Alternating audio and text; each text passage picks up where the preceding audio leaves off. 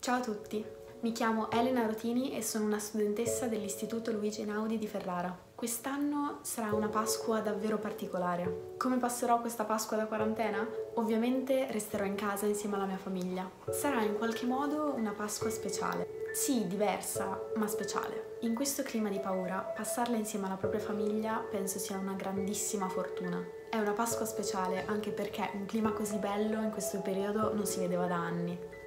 Sì, vabbè, tanto non si può uscire. Insomma, con la speranza di tornare presto alla nostra vita normale, auguro a tutti una buona Pasqua. A tutti gli italiani che come me sono chiusi in casa, ma soprattutto a chi è fuori, che rischia la propria vita per salvare la nostra. Buona Pasqua ai miei parenti lontani che sfortunatamente quest'anno non riuscirò a vedere e buona Pasqua anche a tutti i miei amici. E adesso dai, non ci resta che andare a sperimentare la colomba fatta in casa. Sì, vabbè, però non prometto niente.